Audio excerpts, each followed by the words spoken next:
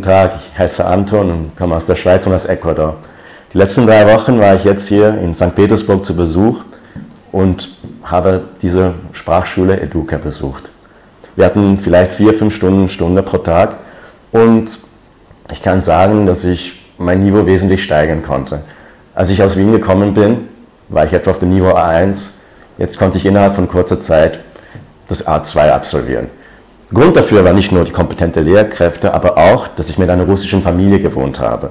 Und da musste ich jeden Morgen zum Frühstück und am Abend zum Nachtessen Russisch reden. Und in der Freizeit ging ich spazieren, ins Museum, ins Theater und manchmal auch in Cafés und Bars und habe mit echten Leuten Russisch geübt.